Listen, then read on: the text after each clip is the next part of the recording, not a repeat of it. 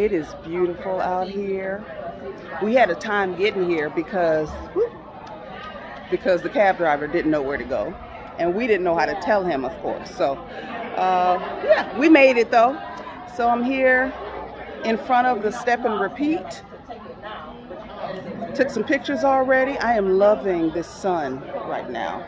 And then there's the pool right behind me. I'm gonna try not to fall in. I did bring my swimsuit in case I wanna do that. There's a kitchen back here. And I'm getting ready to go back into the AC.